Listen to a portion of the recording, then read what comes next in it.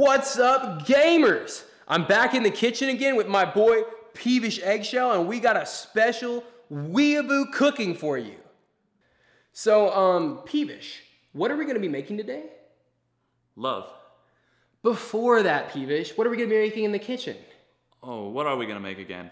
Well, it's a good thing you don't know because today we're gonna be making tonkatsu, which is Japanese traditional street food. It's fried pork cutlet, and it's really good. So let's get into it.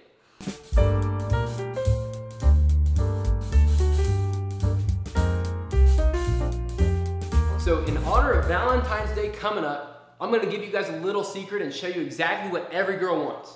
She just wants a big old chunk of just raw meat. Like look at this. Three pounds of pork loin. This is what we're gonna be frying up into our tonkatsu today.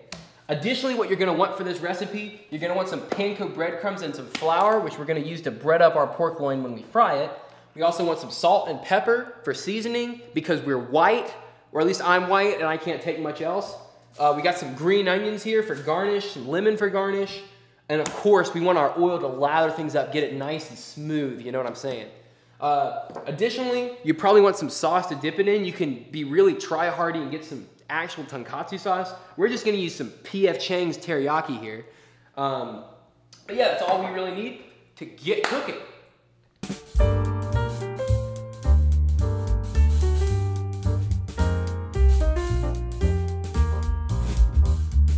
All right, so what we're gonna wanna do, you're gonna wanna cut your pork into about half inch strips, comme ça, that so they fry through nice and consistently and evenly. That was a little bit munted, so I'm gonna try again here. Uh, oh yeah. Oh yeah, look at that. Look at that. And you're gonna wanna dice up the rest of your pork that way. Man, I got raw meat all over my hands. Wouldn't be the first time. Right. So after we've cut up our very large, very raw hunk of meat, you're gonna wanna prepare your dredging. And this was my bad, guys. I should have told you this earlier.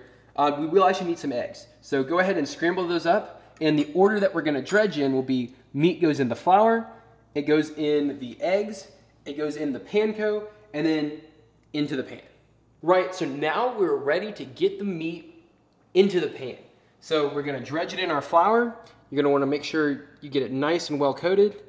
Uh, flip it over a few times, make sure you get good contact, you know, et cetera, et cetera.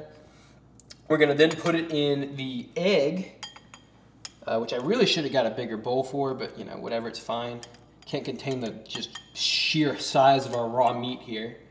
Um, then we're gonna go to, after we get that good and dredged, into our panko. Same thing, we're gonna wanna make sure we get it good and toasted. And uh, we're gonna wanna set this gently in our pan. Now, for those of you who watched our gyoza video, me and Peevish's gyoza video, you know we set off our fire alarm, so you're gonna wanna be very careful here, not spill any oil, just slowly lower it into the pan, like so. Right, so the time has come for us to take our beautiful tonkatsu off. It's looking nice and golden brown here. Wanna make sure you use tongs, because just about the only thing worse than splashing hot oil on yourself is walking in on your girlfriend uh, cheating on you. And we're gonna move on to eating.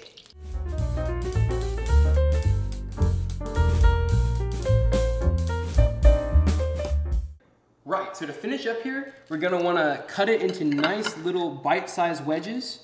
Uh, comme ça, right here. Yeah, just make sure we get it good. Oh my goodness, this is so crispy.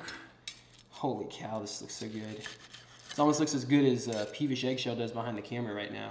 So we're gonna sort of square that up. We're gonna throw in some garnish here, put some uh, green onion on top, uh, grab a little lemon wedge. Uh, where's that gonna look best? Maybe right here, back here, maybe maybe do a second lemon wedge. Oh my gosh, I'm an artist. I'm a fucking artist. Oh yeah, look at that. That looks good, doesn't it? We're gonna top it off. This is gonna go really, really well with some nice Japanese rice. A little scoop right there. Oh my goodness, this looks so good. Dude, Gordon Ramsay would be happy with this. How's that look? Looking good? Oh yeah, look at that. Look at all that.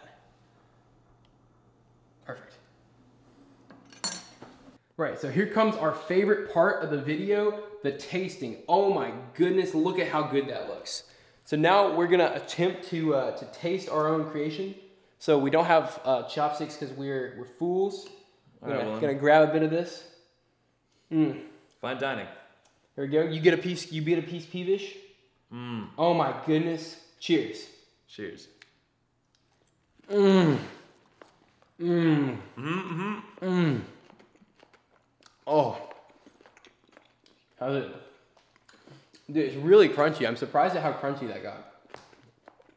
Dingus, you're a 10. You're a 10. My cooking's a 10 or I'm a 10? You. Oh shit, I think we're gonna have to go to the bedroom. What do you think, Carl? Damn. Oh, I you forgot to answer the Um, question earlier. Uh, uh, I gave the food a.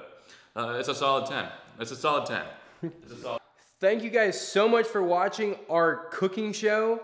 Uh, we have a couple other videos out if you want to check those out. Uh, and please check out my boy Peevish Eggshells channel. He has a Minecraft YouTube channel. He's a really great cameraman, really great friend to me. Uh, yeah, and I love you guys. Thank you so much for watching. Hope you make some good, yummy tonkatsu. Bye bye. Bye bye.